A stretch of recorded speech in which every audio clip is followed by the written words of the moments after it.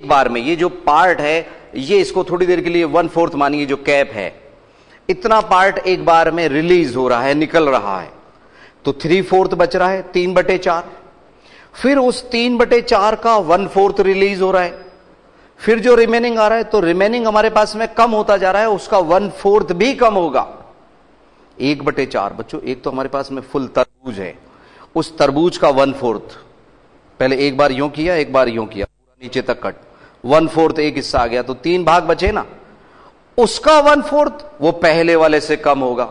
Remaining का one fourth पहले से कम होगा तो हमारा जो वन फोर्थ पार्ट है, वो कम होता जा रहा है। तो यहाँ पे, जैसा आप लोगों के आंसर में भी, आयतन को वी मान लिया, रिमेनिंग आयतन we.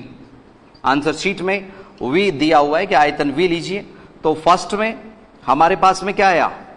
Three fourth of V. After that तीन बटे चार का स्क्वायर, क्योंकि थ्री फोर्थ का थ्री फोर्थ। फिर तीन बटे चार की घात तीन। ज़्यादा डिटेल में जाने की ज़रूरत नहीं है बच्चों हल्का फुल्का लीजिए इसको। तीन बटे चार, जैसे एक किलो दूध है बच्चों, उसमें से पावर दे दिया हमने, ये वन लीटर, और उसमें से वन फोर्थ। तो जिसको हम पाव कहते हैं अपने सामान्य भाषा में, वो निकाल दिया तो तीन पाव रह गया ना बच्चों। वही मतलब है यहाँ पे। थ्री फोर्थ वॉल्यूम का। रिमेनिंग थ्री फोर्थ का थ्री फोर्थ तो तीन बटे चार का स्क्वायर।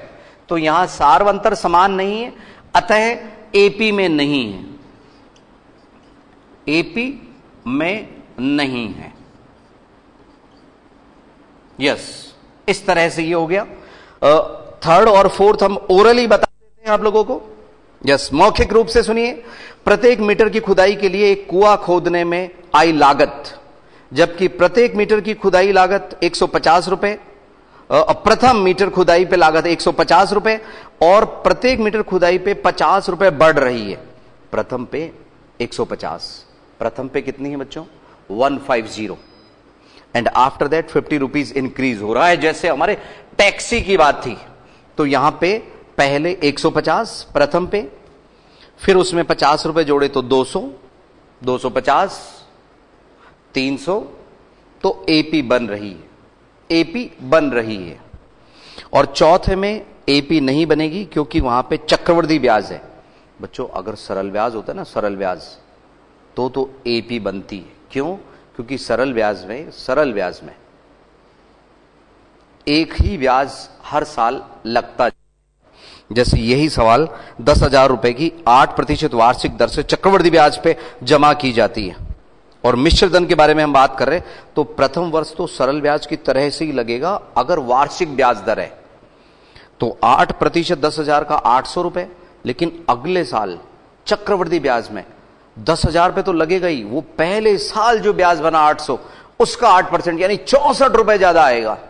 तो first year eight hundred second year eight six four like that तो वो सार अंतर हमारा अलग अलग आ रहा है। जबकि सरल ब्याज में पहले साल 800 बना तो हर वर्ष 800 800 800 प्लस होता रहता है। आगे बच्चों, दो तीन पेज बाद में आप लोगों के एक सरल ब्याज का सवाल है, वो हम बाद में डिस्कस करेंगे। तो ये आप लोगों ने देखा, वापस से हम पुनः पुनः याद दिला दें।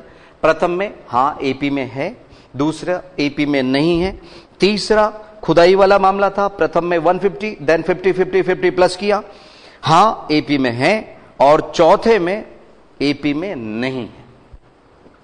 आइए सवाल नंबर दो पे चले। बच्चों, ये साधारण सवाल है, अगर कोई एक नंबर का